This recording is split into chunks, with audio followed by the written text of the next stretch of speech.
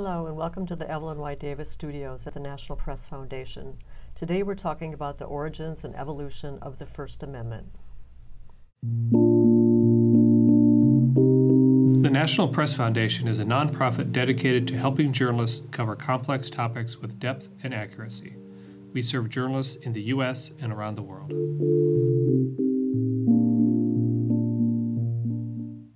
I'm Sandy Johnson, president of the National Press Foundation. Journalists and the First Amendment are taking a beating. We're under almost constant attack by the President of the United States, and animosity against the media has poisoned public discourse. It's a good time to step back and remind us all about the origins and evolution of the First Amendment. With me in the studio today are Lata Nott, Executive Director of the Newseum Institute's First Amendment Center, and Stephen Wermiel, a former journalist and now a professor at the American University Washington College of Law. So thank you both for joining us today.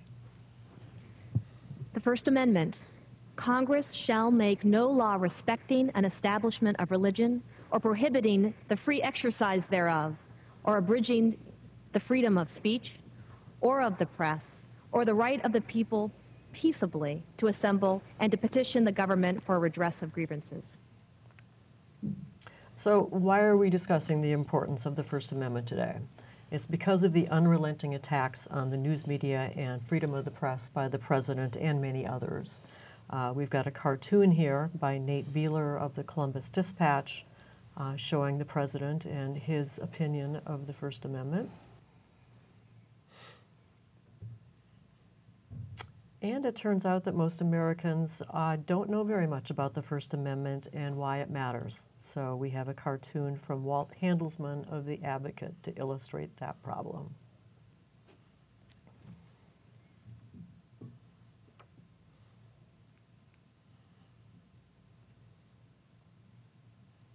So let's go back to basics, Stephen Lata.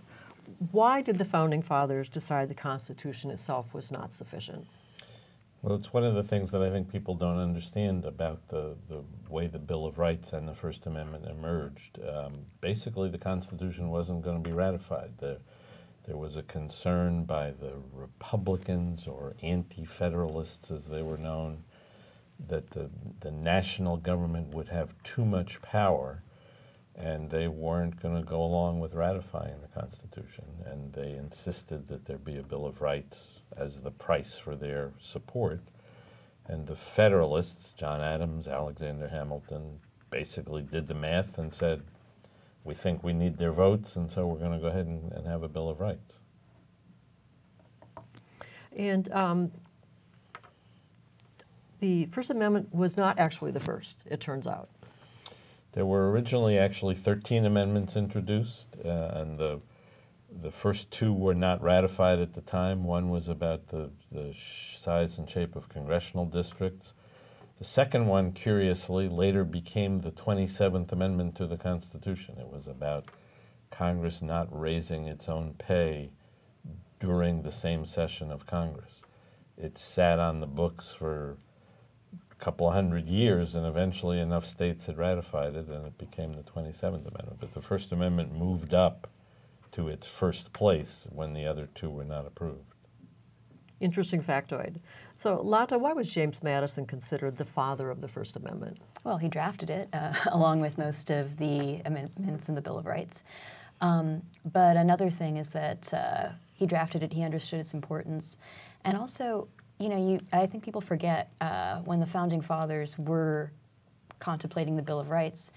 Um, previously in England, um, seditious libel was a crime. And seditious libel does not just mean that things that you say about someone that are false. They could also be insulting things that you said about the king or government officials that were true. In fact, if the facts were true, that could actually make it a worse crime because true insults are the worst insults of all, actually. um, so that was the baseline that the founding fathers were working with. And so um, when they drafted the First Amendment, you have to consider that um, after living under that reign and under that kind of regime, they it was very important to them that people be able uh, were able to especially criticize the government. That I think they saw as the highest function of speech to be a watchdog on the government. Mm -hmm. And what do you think was the intent of the um, of the writers of the First Amendment toward the media itself? Well, I think uh, Thomas Jefferson, and correct me, I, I will probably mess up this quote, but he said that if you had to choose between a government without newspapers and newspapers without a government, he'd choose the latter every time. It was so important to him that the press be there to serve as a watchdog on the government, for people to be able to criticize the government and observe what the government was doing. I mean, there was a lot. th- th- There were a lot of newspapers. There was a robust press. A lot of it was partisan, but but you know they were not in a coming from an environment of a kind of sedate media. They were coming from an environment in which the media was was roguish and and uh, loud and and intrusive, and and you know they thought that was fine. So the First Amendment was ratified, and was there any activity surrounding the First Amendment in those early years until we got to the Sedition Act? Not really. Um, it, it's important to rem- remember that the idea of, or, or, or the significance of judicial review, of the Supreme Court ruling on the actions of the states and, and of the federal government, didn't really come into to full play until 1803 with Marbury versus Madison. And even then, it was another hundred years before the Supreme Court sort of started regularly um, reviewing acts of Congress. So we didn't have a culture of uh, you're violating my rights, I'm going to court. That that didn't exist then. Mhm. Well, let's talk about the Alien and Sedition Act.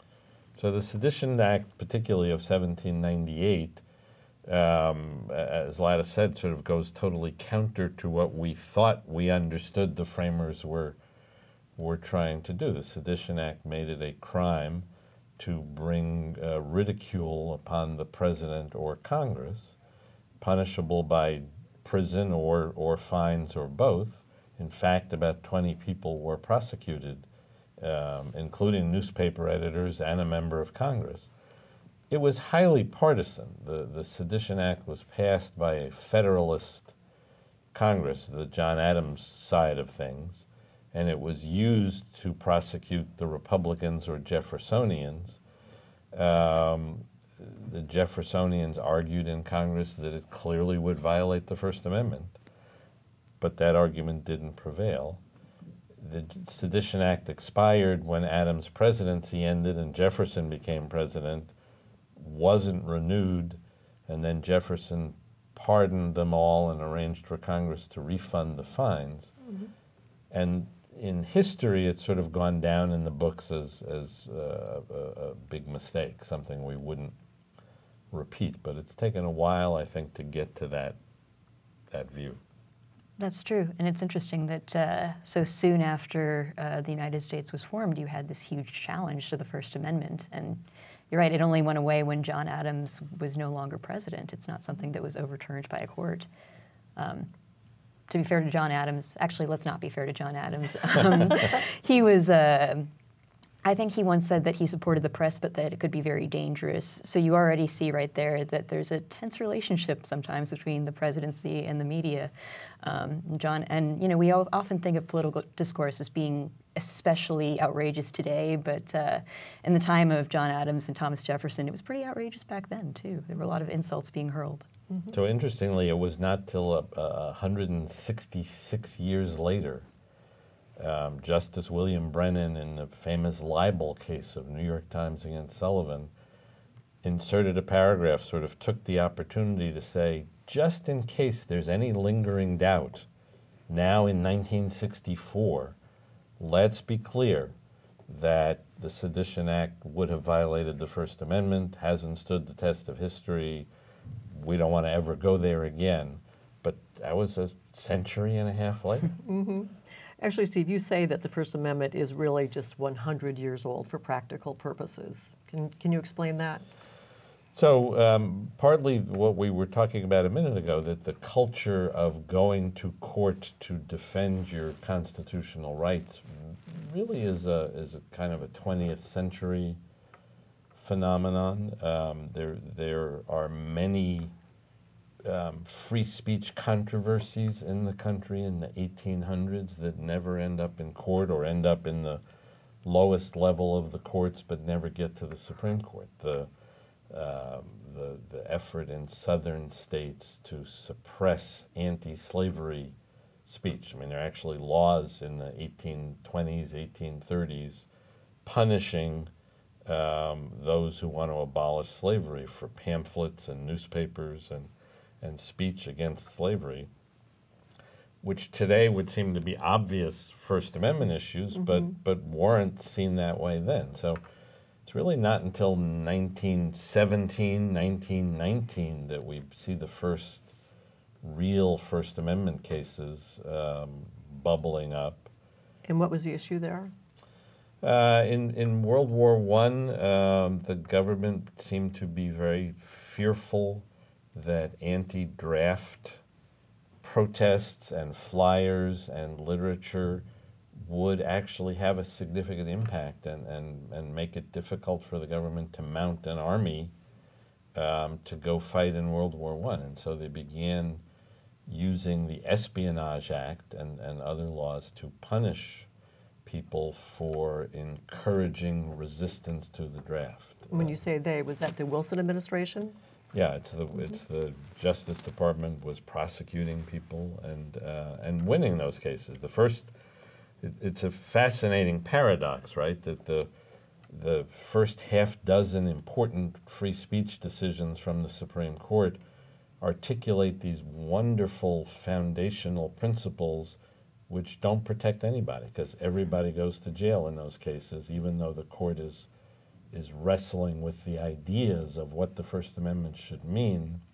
The protesters are losing. The pamphlet publishers are losing. Right, and I believe this was the case. Uh, one of these early cases was where the uh, phrase that you don't have the right to yell fire in a crowded theater was coined, a phrase that I cannot stand when people use because if the theater is on fire, you should definitely yell out fire in the crowded theater. It's a, I think it's an analogy just that just gets gets misused so often. Mm-hmm. but but important in the formation of modern First Amendment law. The other small piece of it is it's important to remember, remember that the First Amendment didn't apply to laws passed by the states.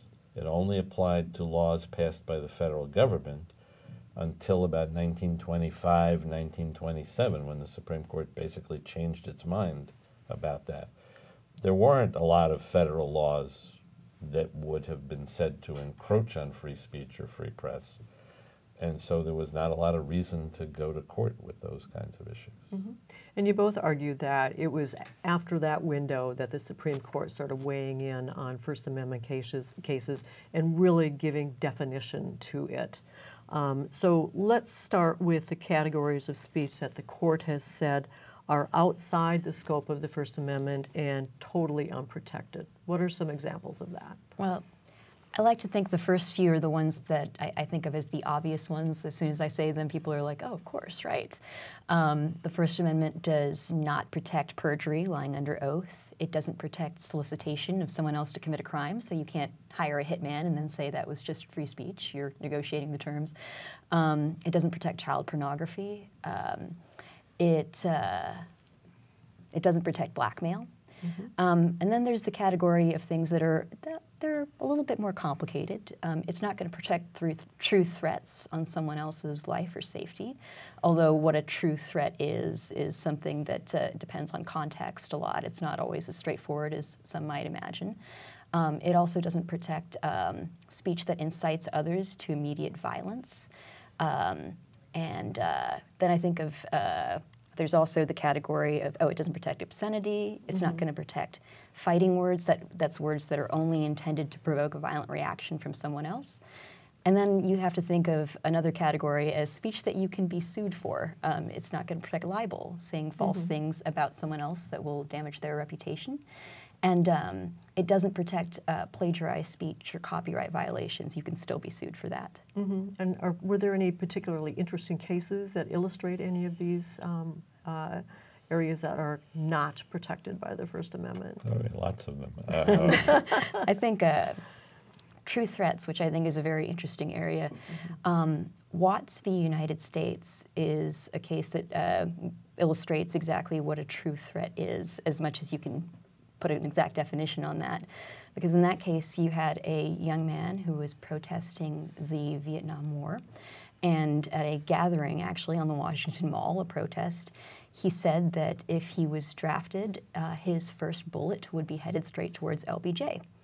And he was arrested for threatening the life of the president. And when the Supreme Court heard this case, um, what they found was that you had to look at the statement in context. You couldn't just take it in a vacuum because it was important that he was at a protest, that he was protesting the war, um, that when he said uh, what he said, that his first bullet would be headed towards LBJ, people laughed. They thought of it as a joke. Um, he was not likely to ever be in the vicinity of LBJ. All of that was taken into account when they were evaluating whether it was a true threat or not. Uh, the incitement standard is sort of the, the, the successor to the fire in a theater standard. When the fire in the theater line was uttered, it was supposed to be the, the clear line, you know, between what was acceptable speech and what was not acceptable speech. Um, in the late 1960s, the court came up with this incitement standard in a case called Brandenburg versus Ohio. Uh, and what the court said was um, the, the speaker that you want to punish for inciting has to intend lawless action and intend that and be in a situation in which there is an imminent likelihood of lawless action. So if you're speaking in front of an angry mob and you're rallying that mob to go do something illegal, go throw a brick through a window, um, you can be punished for incitement. But it, those elements all have to be present. It's a very, it's a very, or intended to be a very speech protective test. If you're, if you're giving a fiery speech in circumstances in which it seems pretty unlikely that anybody is actually going to act on what you're urging them to do, then your speech should be protected. So just generally saying that people should rise up one day isn't going to cut it. Right. Mm-hmm. So I think you've done a good job of laying out types of um, speech that are not protected by the First Amendment. So let's move on to uh, uh, uh, First Amendment issues that are protected. Uh, you both said that, that the court has created over time a hierarchy of speech values. Can you explain what you mean by that? The, the court has basically, I think, done this in two ways. We were describing whole categories of speech that the court says are outside the First Amendment entirely. Then there's a second set of judgments that the court makes where it says political speech is the most important and, and contributes the most to our dialogue as a democracy. But there are other kinds of speech that are protected but not as important. So, commercial speech, advertising, is protected by the First Amendment but isn't as valuable and so doesn't get as much protection. That's why uh, you can, uh, the government can place more regulations on advertising than, say, political speech. Profanity um, can't be entirely prohibited except in some circumstances on, on television, but um, i- it's not considered to be of great value, and so it gets even less protection than commercial speech. And so the court has kind of created this ladder of, of free speech values. And how did that evolve? I mean, I- you, you've described it pretty well as a ladder, and there are, you know, there's a hierarchy of it. But were there cases that the, that the court took and decided on that that made this obvious to scholars such as yourself? Yeah, I mean, take commercial speech, for example. Prior to 1976, roughly, um, commercial speech was thought not to have any First Amendment protection. Um, but beginning in the mid 1970s, the court had a long series of cases lasting about 20 years in which some justices began to say, well, you know, maybe there is some value to commercial speech. Maybe it should be entitled to some First Amendment protection. I think the very first one was um, mailing contras- ab- advertisements about contraceptives. Uh, there was one about drug prices and one about contraceptives, that where the court for the first time said, uh, well, you know, maybe this, this deserves some First Amendment protection. It's divided the court deeply over the years. Most of the decisions have been five to four, one way or the other. And over time, the rule has evolved. And it can get tricky. Um, there's another category related to commercial speech. Uh, it's called professional speech, where, um, you know, for instance, uh, you can't just call yourself a doctor in a lot of states. You have to actually meet certain requirements in order to be a doctor. And there are certain things that you, like for lawyers, for instance, um, there are certain uh, things that lawyers have to adhere to when it comes to how they advertise their services, et cetera, which you could think of as a restriction on speech. But it's considered to be an exception because it's professional speech. You're holding yourself out to be a lawyer, and therefore you have to comply with certain standards. And people have challenged that. People have said that it's unfair, that uh, there's this whole category of speech that is sort of left unprotected, and that it can be hard to draw the line between regular speech and professional speech and commercial speech. So it's not without controversy. And uh, then the, the court has also defined how and whether speech is protected, and that depends on a whole lot of considerations. And some of those would be I mean, most of what we've talked about so far is the substance or content of the speech, but there's a whole set of what we might call mechanical rules. Is is uh, is the speech? Does the speech involve expressive conduct, or is it just expression and no conduct? If it involves conduct, you have more leeway to regulate. If you're the government. Um, if it's pure speech and not conduct, then there's more protection for the speech. Where does it take place? Does it take place on government property? If it's on government property, the government can impose what the court calls time, place, and manner. I would sort of call them traffic regulations. um, That's like if you're having a, uh, a protest, um, the First Amendment protects your right to protest, but the government can put certain restrictions on, say, when you have your protest. Um, they might say you can't have it in the middle of the night because we don't have enough police protection at that time, or you can't have it during rush hour. Um, time, place, and manner restrictions. What they can't do is restrict your right to protest based on the content of your, of your protest, the content of what you're about to say. Um, they can't discriminate based on that, but they can say require you to have a permit in order to perhaps hold your protest. Or say that there won't be two permits. That If Lata wants to protest something and I want to protest something else, and she got there first and got the first permit, um, they, they can give me a permit for tomorrow. She's got the one for today because it's too much to have us both protesting at the same time. All right. What other conditions or considerations would there be?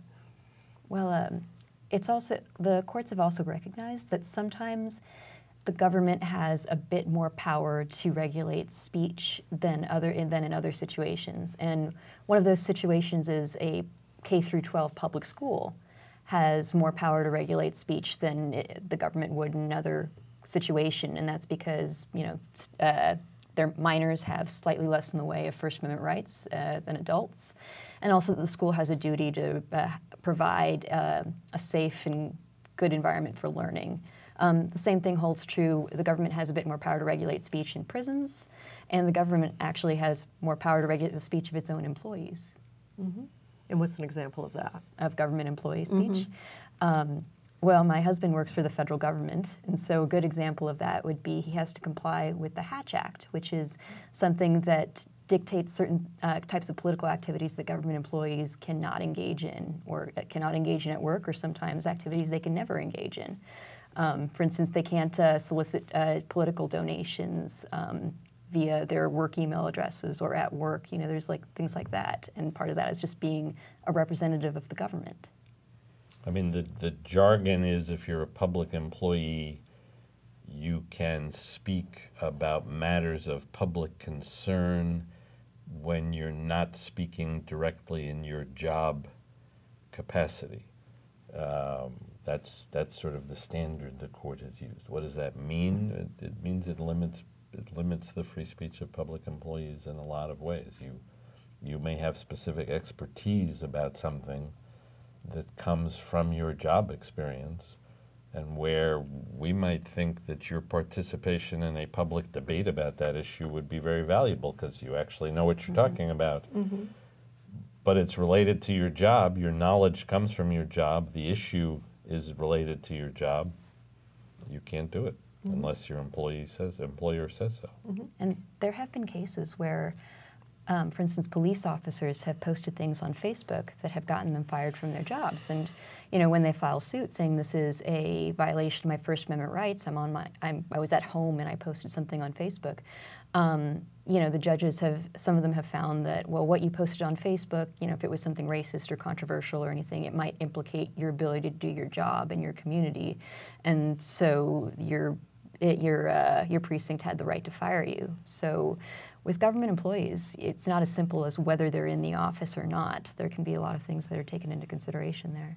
Then there's another category which is sort of a, a, it's it's not newly emerging, but it seems to be newly expanding, and that is the government's own speech.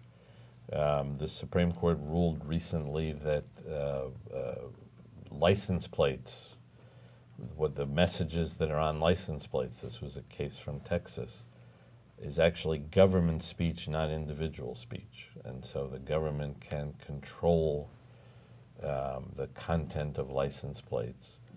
It gives the government, and we haven't seen a lot of, of evolution of this yet, but it gives the government potentially a lot of power. If the government can label something government speech, mm-hmm. then all the other rules don't apply. The government can discriminate on the basis of viewpoint and content all at once. Mm-hmm. So in Texas, the case was they were government-issued license plates. Mm-hmm. And an individual wanted to put a Confederate flag on their license plate. Mm-hmm. And Texas's state government said, said, no, the license plates are our speech, and we have an interest in not uh, conveying that message on our license plates. And they won in the Supreme Court. And uh, it's interesting how you can apply that doctrine to different situations. That doctrine was applied to a public park and the monuments that were chosen to be in that park. You know, that, so it can be more pervasive than you might think. Mm-hmm.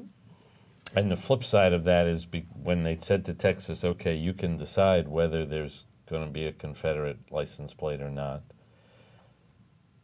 In that particular instance, Texas didn't want to have a Confederate flag, but the decision basically gave Texas the power to decide. So if Texas tomorrow said, we won't have any U.S. flags on our license plates, but we're going to have Confederate flags on our license plates, it's government speech.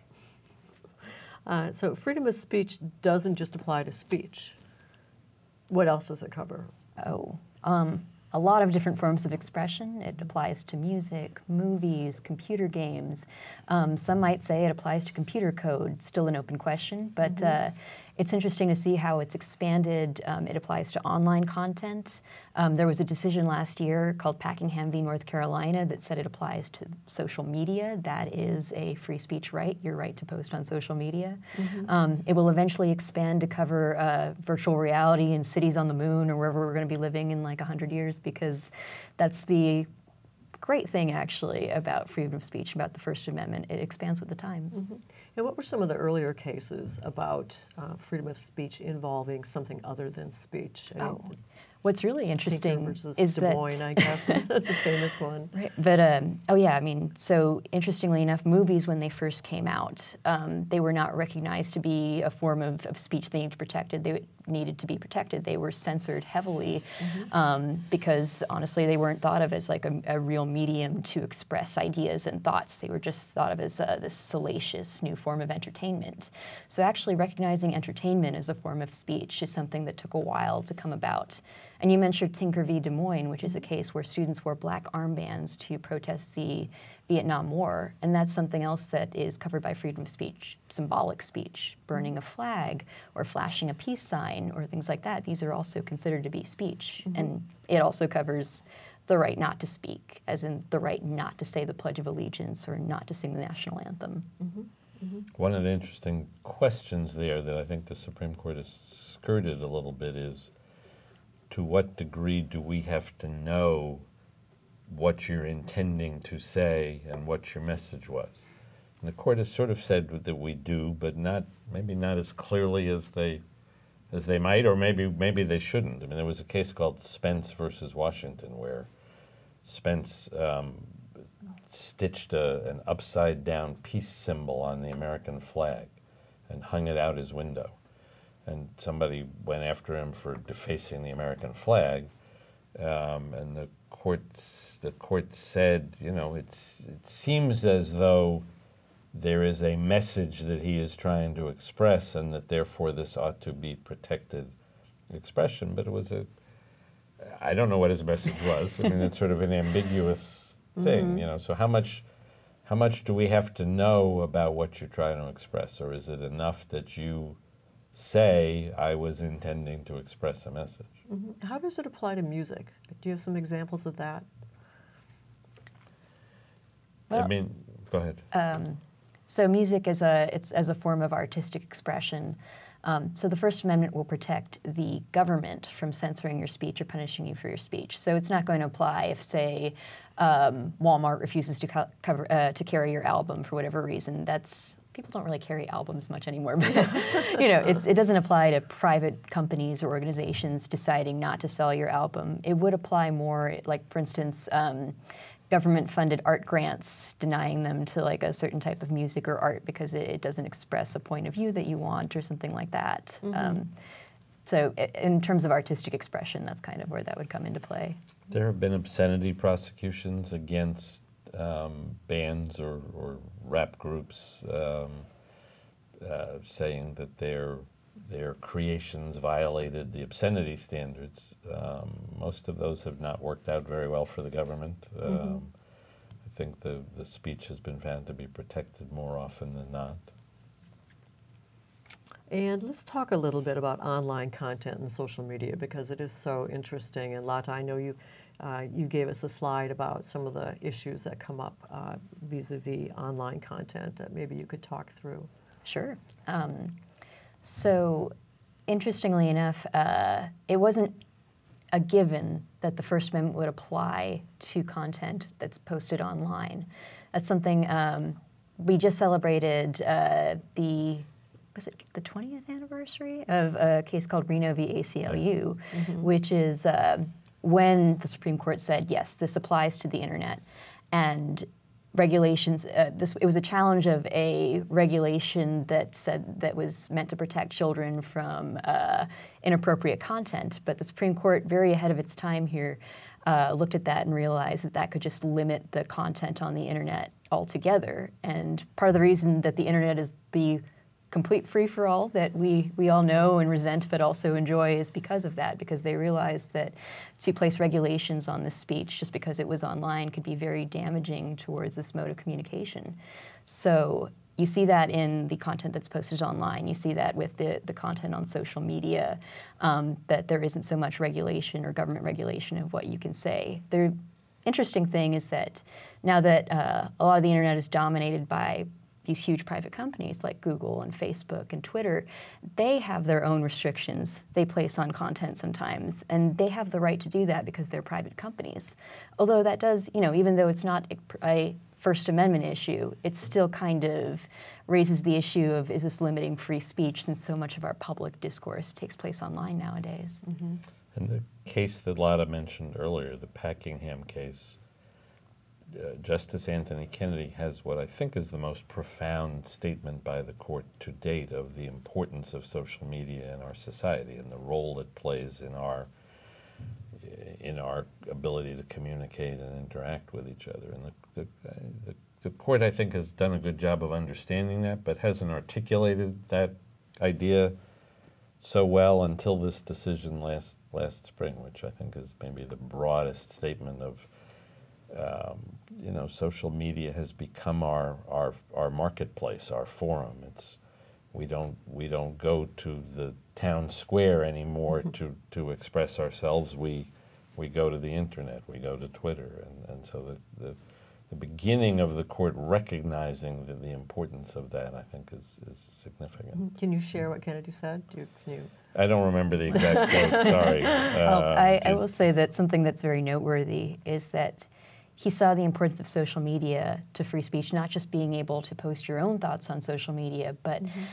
people often forget that the uh, the First Amendment, the right to free speech, also includes your right to hear speech and your right mm-hmm. to be part of this public conversation to receive in- to receive information, which is huge. Mm-hmm. I mean, this was actually a tough case. This was a convicted sex offender who had served his time, was required to register forever as a sex offender, but part of the sentence was that he was going to be he was uh, involved in child sex offenses. He was going to be barred forever from accessing any sites, Twitter, Facebook, internet, anywhere where there might be children present. And the court struck that down and said it was too broad because it prohibited his access to this essential means of communication in our society today. And you both are um, teach at American University, um, Lata on an adjunct basis, I guess, and Steve, full-time professor. Why don't you share some of the conversations that you have with your students about the First Amendment and uh, and uh, free speech? It's uh, it, it's challenging, um, I have to say. Um, I think that students today don't necessarily have as much appreciation as I might wish they did of um, the free exchange of ideas, the uh, you know the, the basic principles of that New York Times versus Sullivan opinion that we we're committed to, to open and robust uh, debate, and that we recognize that it, sometimes it might be hurtful and caustic and, and damaging, but that that's price we pay in and to have a democracy. I don't always find that students appreciate that value. I think students increasingly today maybe want to hear what they want to hear and not hear what they don't. Mm-hmm.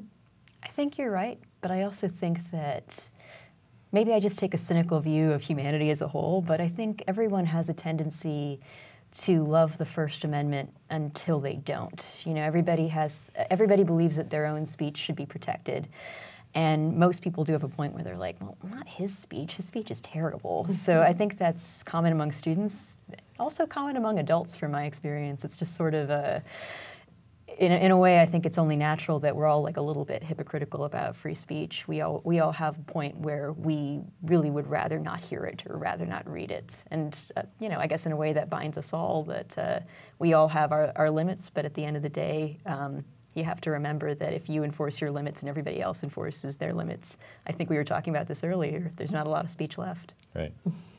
I mean, I haven't experienced, and I would imagine you have not either, some of the horror stories that you read about where um, professors are engaged in what they think is a, is a lecture or an exchange of ideas, and they say something that perhaps they don't even realize offended somebody, and they're uh, somebody, a student who's offended, complains to the administration about some allegedly inappropriate comments made by faculty members or by other students, and you end up with a whole, you know, ju- judicial proceeding, disciplinary hearings, and so on. I, I, I've not experienced that, fortunately, and and uh, and hopefully won't, because I would find it very disconcerting.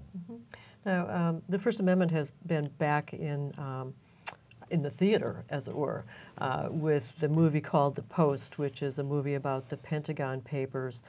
What lessons do you think the public is learning or re- relearning about the First Amendment from um, what the Post and the Times went through? I, you know, I, I think that maybe reactions to the movie are kind of self-reinforcing. Um, I, maybe it's my narrow world, but I don't travel with a lot of people who uh, think the First Amendment is useless or meaningless or goes too far. I guess most of the people I hang out with have some appreciation of the First Amendment. So those people tend to love the movie because it captures very dramatically uh, the the commitment to being able to publish and disseminate information even when the government doesn't want you to, or especially when the government doesn't want you to.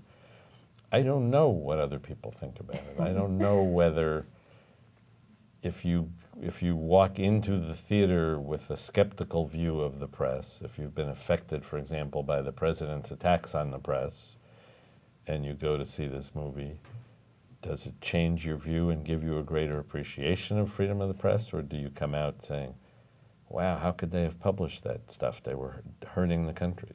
I don't know. I mean, uh, so at the First Amendment Center, we do a survey every year. It's called the State of the First Amendment Survey. And uh, last year we asked people, um, you know, do you think that journalists should be allowed to publish leaked information?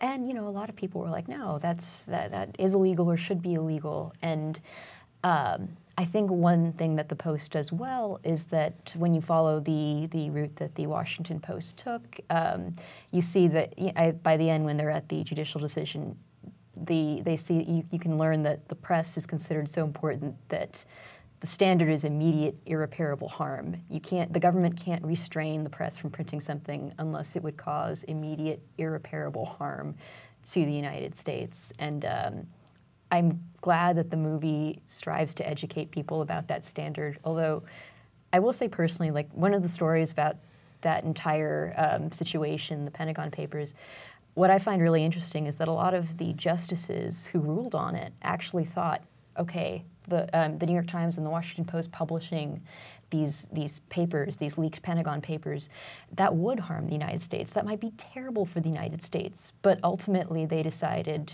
it doesn't rise to that really high bar of immediate and irreparable, and so we have to allow it. I think that's I think that's a really important story. I hope somebody tells that story too, um, just because it just shows that. Um, you, you weigh these things, and ultimately, like, in, except in very, very drastic circumstances, the press usually comes out on top. And I think that just reflects um, the value that this country has placed in the idea of the press serving as a watchdog on the government. Mm-hmm. So that's something that happened almost 50 years ago, which is hard to hard to believe um, that it was that long ago. Uh, we had a more recent example, uh, the the book about the Trump administration, Michael Wolff's Fire and Fury. Uh, the president and his lawyer sought to halt publication of the book. Any thoughts on how that would have played out if it had gone anywhere, or? So, in in one important legal sense, they raise the same issue, which is that a fundamental tenet of our First Amendment um, decision making is that you, you, courts should not issue what are called prior restraints. Mm-hmm.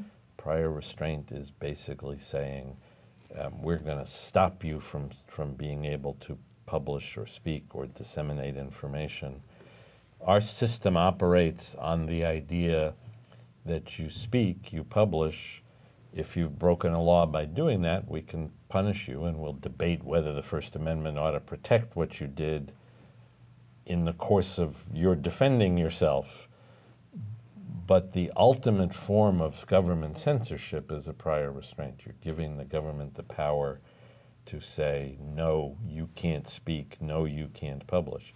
And so uh, it, it should have been a no brainer, I think, to the president's lawyers um, that they were not going to be able to go to the publisher and say, you can't publish Fire and Fury uh, because the president doesn't want it to be published or, or doesn't or, or thinks it might be harmful to his presidency. It mm-hmm. doesn't work that way. Um, and Lata, did you want to describe a little bit more about the some more information from the First Amendment survey? I know you've been doing this for a number of years. Are there any trends that journalists should be aware of in those findings? Well, uh, yeah, the survey has been performed for the last 20 years. Mm-hmm. Um, a trend that we tend to see is that around a time um, when there has been a uh, an incident like 9 11 or the Boston Marathon bombings, people tend to be uh, less supportive of First Amendment rights. People are more likely to say that they think those rights go too far. But um, it usually adjusts after a sufficient amount of time has passed and people go back to being supportive of First Amendment rights. So that's not exactly um, earth shattering that people tend to, uh, when they think national security is at risk, they tend to be less, less supportive of free speech, which is unfortunate, but um, it's just a reality of it. The other thing that uh, I found interesting about this past year's survey is that we were able to look at the results um, with a partisan breakdown, and it's it breaks out the way that you would think that people who are conservative leaning um, they they tended to think that journalists shouldn't be able to publish leaked information. Um, you know, they tended to have views that uh, they tended to think it was okay to use religion, for instance, as something as a criteria on whether somebody should be able to immigrate or not. And then people who lean liberal tended to think that it would be it should be okay to ban campus speakers and things like that, or ban hate speech on social media. And it just kind of goes back to that. I think that everybody kind of dislikes the First Amendment when it uh, when it's speech that they don't support. And I, I think that while that's not surprising, it was interesting just to be aware of just how great that tendency is. And was there any kind of trend line based on age, younger people versus middle aged versus older? In, cer- in certain areas, uh, I, I think that younger people, uh, when it came to speech on so- social media, they thought that um, they were more likely to be in favor of censoring, censoring certain types of speech. So you do, you do see that. And uh, there are a number of cases pending before the Supreme Court right now that deal with free speech issues. So why don't we talk about a few of those? And not directly free press cases, but, but for free speech, I think it's the, the heaviest docket of First Amendment cases maybe the Supreme Court has ever had in a, in a single term. There are actually five different um, free speech cases pending right now. Um, I'm happy to pick one and start, or uh, we can we can take turns. Well, what's your Uh, favorite? It's got to be masterpiece, masterpiece? right? But go ahead. You want to you wanna do that one? Well, there's a there's a lot to unpack in that one, but I think that was, I want to say the the most controversial um, First Amendment and one of the more controversial cases, period, that the Supreme Court heard this term. Um, the case being, and this goes, it, it's a very perfect example of what you were saying when you said that you uh, differentiate between speech and conduct. Because um, in this case, you had a baker who was, you know, uh, quite well known for producing these elaborate custom wedding cakes, and he, he refused to make one for a gay couple's wedding.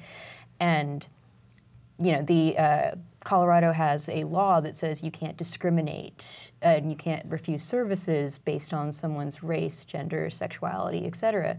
Um, so the question kind of became, and there's there's quite a few questions here, but one of them is this baker's custom wedding cakes. Is that an act of speech, like an artistic expression? Because if it is, then you can't compel somebody to speak. You can't compel somebody to make a piece of art. On the other hand, if you think of it as conduct, if it's a service, if it's just like refusing to serve someone in your restaurant, if that's if that's analogous to refusing to make them a cake, then that's conduct, and you can compel that. So it's a it's a really interesting question, and um, you had First Amendment advocates on both sides of the case. Lots of amicus briefs were submitted for that. Um, so it, it's uh, it'll be really interesting to see how it turns out. Second favorite. Um, I guess my second favorite is is the case from California about just because I think it's so interesting. The California has a law that says that family planning clinics, which basically in practice translates to anti-abortion pro-life clinics that don't want to tell people about abortion under California law, they actually have to post information in their clinic in a prominent place, telling people where they can get abortion services and get information about abortions. And uh, several of the clinics have sued to challenge that law. Basically, in a sense, same argument as the as the baker that it's compelled speech, that the government is telling them that they have to display a particular message that is contrary to their view and contrary to their message. Can the government of California do that as a public safety and, and health measure that you're misleading people by not having them uh, have access to abortion information? Or does it violate the free speech rights of the clinics um, because they are being compelled to make statements that are contrary to their views? And uh, I think it's a fascinating question. And what about the T-shirt case from Minnesota? That's an interesting one. Right, that's a challenge to uh, Minnesota law that says that you can't have, um, well, you can't wear or I assumably post or, or hold up garments with political speech um, within a certain vicinity of a polling booth. And so you- are restricting speech within the vicinity of the polling booth. The rationale being that this will influence the election in some way and that you want to keep uh, partisan speech away from the polling booth. But, you know, I mean, the challenge, I, I, I think the challenge is based on a pretty understandable principle that somebody wearing a t shirt near the polling booth does not necessarily um, imperil the process of democracy. And what did the t shirts say?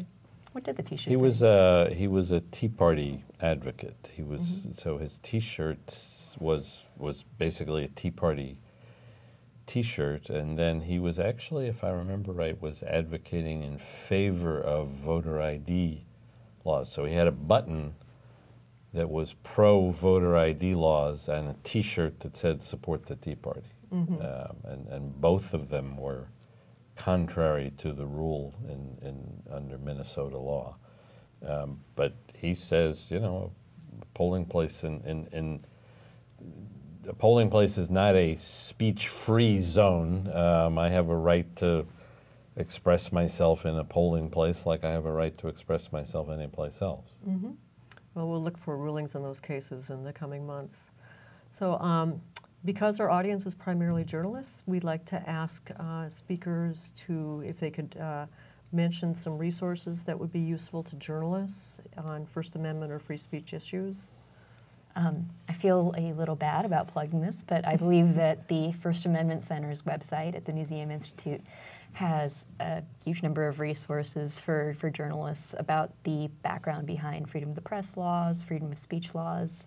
Um, there's so many good good resources. Um, uh, the Committee to Protect Journalists also has a lot of great online resources.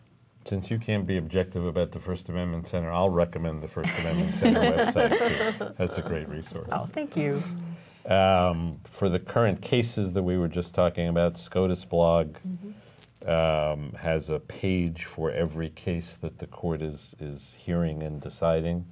So you can find, uh, you know, a case with background, a page with background and commentary and copies of all the petitions and briefs in all of those currently pending First Amendment cases.